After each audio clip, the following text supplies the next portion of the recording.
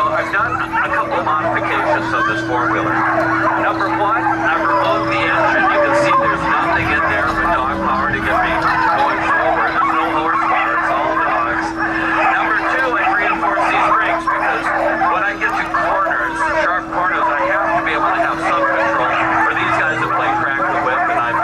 I'd be out in the lake before I do it. But the final thing is, if you're hitching up a dog team, whether it's summer on a four-wheeler or winter on a sled, you have to be anchored down and tied off to something permanent because if you didn't, these guys would pull you out of here way before you're ready to go. So I'm gonna, as soon as I get that last uh, dog in, I'm gonna go for a run. And uh, when I get out there uh, on the other side of the lake, I have a radio, so I can give you a little call and let you know how it's going. It should be fun. They're not eager to do this. Look at that now. Everybody leans on in. It's time to go to work. And hey, 16-year-old Stego's going out with him too. Now keep your eyes to the left, in between the two cabins behind the dog pen, because David's just going to do a U-turn, then come from our right to our left, picking up speed while the dogs find the pace. There they go.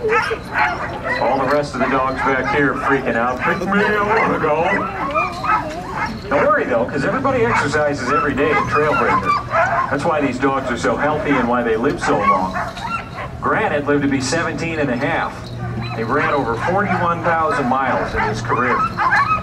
Now keep looking to the left in between those same two cabins, but you're going to want to focus farther away at the base of the tall spruce trees. Here we are trees. coming to the trees at the far side of the lake, and these guys are flying along. We're going over 20 miles an hour, which is remarkable when you consider that the four-wheeler and I weigh over 600 pounds, and uh, these guys are pulling us along eff- effortlessly. And I want to tell you, it's a lot harder pulling a four-wheeler than it is a sled in the wintertime, and these guys make it look look easy. And there's a reason for that, and that's called teamwork. Every dog does exactly the same amount of work as their partner. Every pair of dogs does the same amount as the rest. And that's how you get a thousand miles in the Iditarod or Yukon Quest. I have to give him a command, I'll call you on the way back. Steger said, heck with this, I'm going to do a U-turn and be first. Now, David shouted out haw because that's how he steers. You do it with your voice, no reins or lines. Gee for right, haw for left, hiker all right to start them, say whoa to stop, but then just pray because they don't like that command. And you're going to see it when they get back. Watch that same trail. Coming the opposite way now. Here we are headed out, and uh, we're headed home, I should say, and this team is looking beautiful because now I'm not looking at just their athletic ability. I'm also looking to see how well they understand the strategy uh, of a winning marathon runner. And the strategy has always been that you conserve energy on the outbound leg, you can pour it on and use it as you approach the finish line to pass teams in front, keep teams behind. I'll tell you more when I get back. Okay, and you see them through this gate to the left of the dog pen. That's where you want to focus. And these are all Alaskan Huskies, by the way, if you're curious what kind of dog they are. This is a blend that's developed over thousands of years. And you don't see big purebred Siberians or Malamutes out here for the same reason you're not going to see a Clydesdale in the Kentucky Derby, right? Wouldn't make any sense. Doesn't make any sense to do it here either. So here come the thoroughbreds, and I hope his brakes are working because they're still running at a clip. Leg out. Yeah! Another good run, Dave Monson. Nicely done. Well, thank you.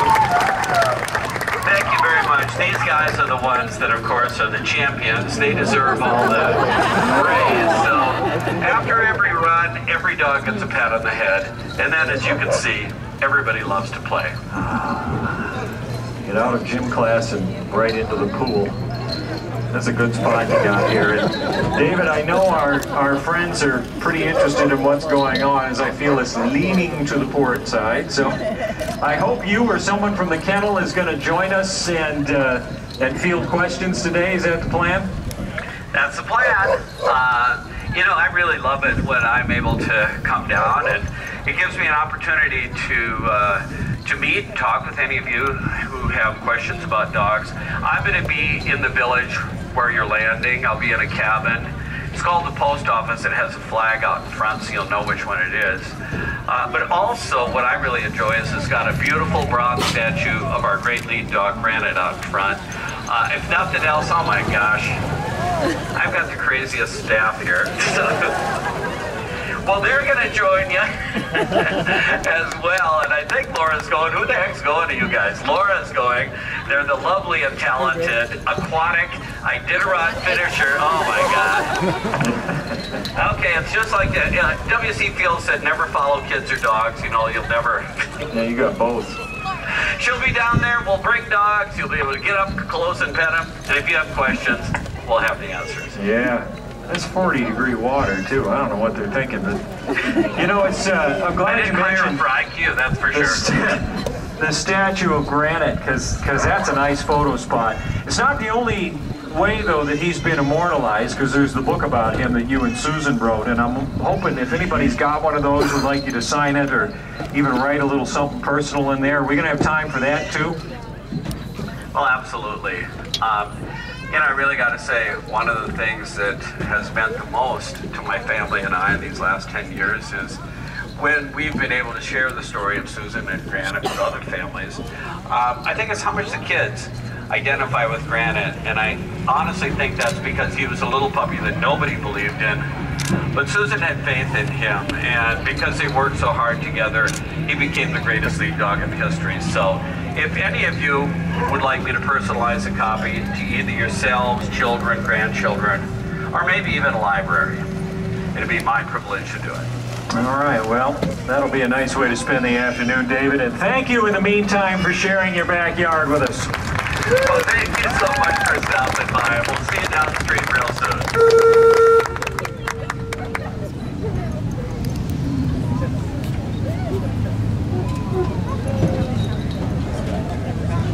Yeah.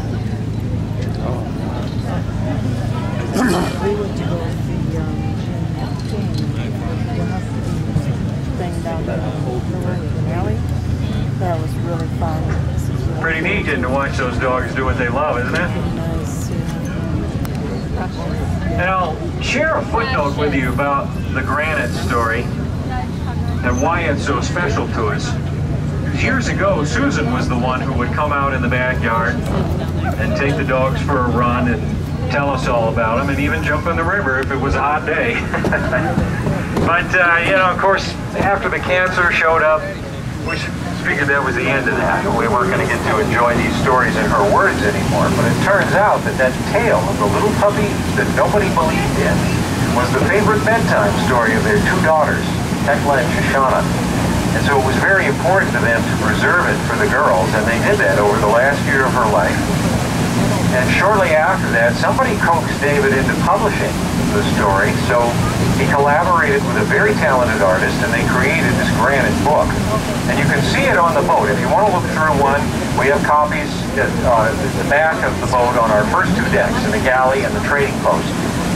And if you decide you want one to keep, David will not only sign it for you, but just like he said, he'll personalize it, dedicate it to anybody that you like, whether it's for kids or grandkids, or if you want to donate one to a school class or a library.